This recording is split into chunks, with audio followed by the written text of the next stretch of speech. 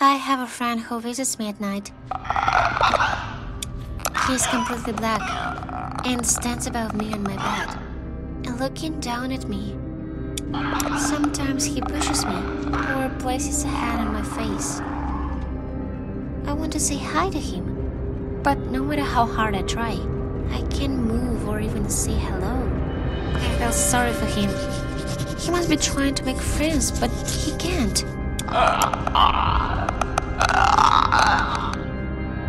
Hi, friend. I'm sorry I can not say hi to you, but if you want, you can play with my Legos or eat some of my cookies I put out for you.